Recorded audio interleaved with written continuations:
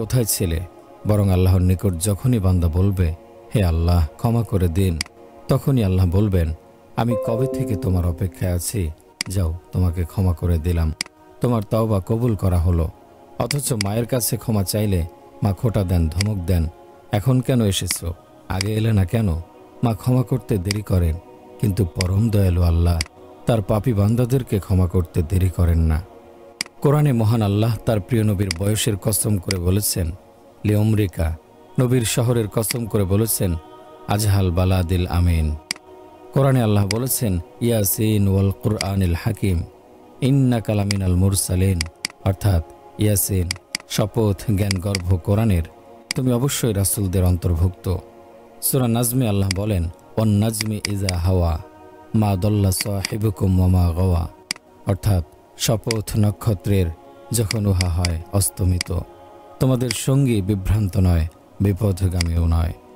তিনি নবী ছিলেন যখন হজরত আদমকে সৃষ্টি করা হয়নি। তিনি নবী ছিলেন তখনই যখন আকাশ জমিন সৃষ্টি করা হয়নি। আকাশ জমিন সৃষ্টি হওয়ার আগে হজরত আদম সৃষ্টি হওয়ার আগে যিনি নবী হিসেবে স্বীকৃতি পেয়েছিলেন, তিনি আমাদের নবী মোহাম্মদ সাল্লু আলহিউসাল্লাম আরও সে আজিমে বেহেস্তের গাছের পাতায় পাতায় হুদ্দের ললাটে যার নাম লেখা ছিল, যার নামের কালেমা লেখা ছিল, তিনি হচ্ছেন নবী মোহাম্মদ। তাইফের প্রান্তরে বিধর্মী কাফেরদের হাতে তিনি নির্যাতিত হয়েছেন, অথচ তার এক ইশারায় ওইসব সন্ত্রাসী বিধর্মী অবাধ্য কাফেরগণ পাথর হয়ে যেত, কিন্তু তিনি তা করেননি। নির্যাতিত, অত্যাচারিত সাহায্যের জন্য আল্লাহর আদেশে ফেরিস্তা নেমে আসেন। তারা অনুমতি চান তাইফের দুই দিকের পাহাড়ে নিষ্পেষিত করে দুর্বৃত্তদের নিঃশেষ করে দিতে। কিন্তু রহমতের প্রতীক নবীজি সাল্লাহ সাল্লাম দৃঢ় কণ্ঠে বলেন আল্লাহ মাহদি কৌমি বা ইন্নাহুম লাইয়ালামুন হে আল্লাহ, আমার জাতিকে তুমি হেদায়েত দাও, কারণ তারা জানে না। তারপর ফেরেশ তাদের বলেন, ওরা আমাকে নির্যাতন করছে, ওদের বংশধরগণ হয়তো ইমান আনবে। নির্যাতিত নবীজি রক্তাক্ত দেহের সঙ্গে জায়দেবনে হারেসার কাঁধে ভর দিয়ে কোরাইশ বংশের এক অমুসলিম উদ্বার বাগানে আশ্রয় নেন। বদর যুদ্ধের সময় এ উদ্বা কাফেরদের পক্ষে পতাকা বহন করেছিল। তায়েফের মাটিতে নবীজির নির্যাতনে কোরাইশ বংশীয় যুবক উদ্বা অবাক হয়ে যায়। সে তার ভুত্তকে দিয়ে এক থোকা আঙ্গুর নবীজির জন্য পাঠায় এবং অনুরোধ করে, নবীজি যেন দয়া করে আঙ্গুর ফিরিয়ে না দেন। উদ্বা কোরাইশি রক্ত তাকে আবেগ আপ্লুত করেছিল। এ কারণে নিজের হাতে আঙ্গুর গাছ থেকে আঙ্গুর পেড়ে নবীজির জন্য পাঠিয়েছিল, যেহেতু সে ইসলাম গ্রহণ করেনি। এ কারণে নবীজির সামনে যেতে সংকোচ বোধ করেছিল। তবু গোত্রের টান এড়াতে পারেনি। উদ্বা ছিল কোরাইশ বংশের লোক, নবীজিও ছিলেন কোরাইশ বংশের। উম্মতের জন্য অস্থিরতার কারণে নবী করিম সাল্লাহ সাল্লাম ছটফট করতেন। নবীজির এরকম অস্থিরতা লক্ষ্য করে আল্লাহ বলেছেন, হে নবী, আপনার এত অস্থিরতা, এত বিচলিত অবস্থা দেখে আশঙ্কা হয়। আপনি মরে যেতে পারেন। মসজিদে নববীর প্রতিটি দেয়াল, প্রতিটি খুঁটি নবী মোহাম্মদের কান্নার এবং আহাজারের সাক্ষ্য দেবে। মসজিদে নববীতে নবীজি এতেকাফ করতেন, নফল নামাজে দীর্ঘ সময় কাটাতেন। নবীজির কান্নায় তার দীর্ঘ সময়ের আহাজারিতে পাথরের প্রাণ থাকলে পাহাড় মোমের মতো গলে যেত। এত বড় মানব দরদি এবং মানবতার বন্ধু নবীকে আজ আমরা ভুলে আছি। কেয়ামতের দিন কি করে তার সামনে উপস্থিত হব? তিনি যদি প্রশ্ন করেন, আমার দিনের জন্য তোমরা কি করেছ? কি জবাব দেব আমরা। আজকের যুব সমাজ, গান, বাজনা, আনন্দ ফুর্তিতে মেতে আছে। তারা নিজেদের পানাহার, দামি পোশাক, ফ্যাশন প্রিয়তা এবং অর্থনৈতিক সচ্ছলতার বাইরে অন্য কোনো কিছু চিন্তাই করতে পারে না। আমি জানি আমাদের সবাইকে একদিন নবীর সামনে দাঁড়াতে হবে, কৈফিয়ত দিতে হবে। আমাদের সমাজের মানুষের মধ্যে প্রবৃত্তি অর্থাৎ নফস এবং শয়তান বিজয়ী হচ্ছে, আমরা পরাজিত হয়ে জীবন কাটাচ্ছি। পাঁচশত বরযাত্রী সঙ্গে নিয়ে বর বিয়ে করতে চলেছে। এ সময় যদি বর অন্যদেরকে জিজ্ঞাসা করে, আমি ওখানে খেতে পাবো তো? আমাকে খাবার দেয়া হবে তো? সেই বরকে সবাই বলবে, ওর তো মাথা খারাপ হয়েছে।